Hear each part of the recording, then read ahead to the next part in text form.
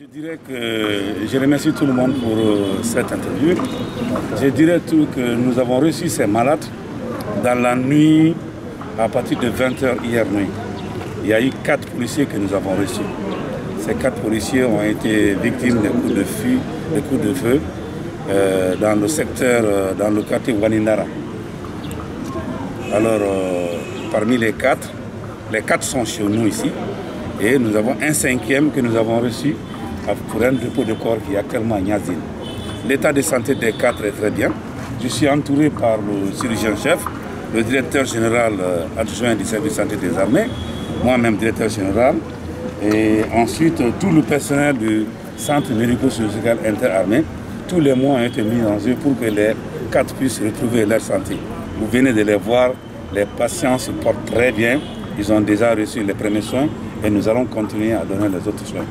Voilà. Leur vie n'est pas en danger Jamais. Leur vie n'est pas en danger. Je dis qu'ils se portent très bien. Voilà.